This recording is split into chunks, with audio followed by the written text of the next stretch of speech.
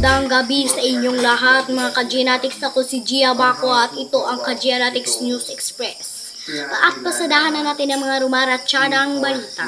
Inihalal noong lunes ng mga senador si Senator Cheese Escudero bilang bagong Senate President nito sa isang sorpresang pagbabago sa pamumuno kasunod ng ilang kontrobersyal na investigasyon sa isinagawang Kamara. Nangolekta ang Pilipinas ng ebidensya sa pagsasampa ng bagong kaso laban sa China dahil sa illegal na ak- aksyon ng Beijing sa West Philippine Sea, sinabi ng isang security official nitong lunes. Inirekomenda noong lunes ng Department of the Interior and Local Government, DILG, na tang tang tatanggalin ang otoridad ni Bamban Tarlac Mayor Alice Guo sa pulisya sa kanyang bayan.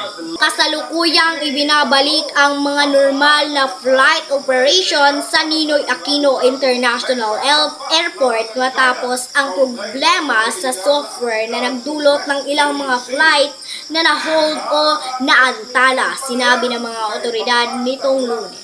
Sinibak sa pwesto ni Philippine National Police Chief General Romel Francisco Marbil ang dalawang pulis na sangkot sa nangyaring tensyon sa Mantenlupa City noong Sabado. Dito naman po tayo sa balitang showbiz or entertainment.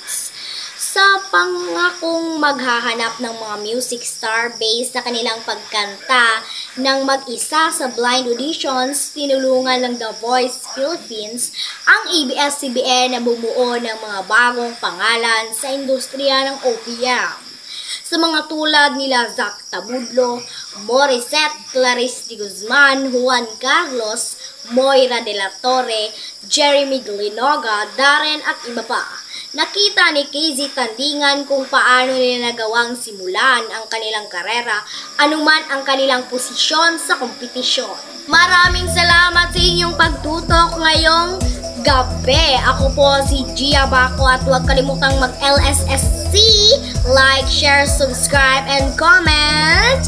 At ito ang most viewed news program sa YouTube. Ito ang Kajiaratics News Express.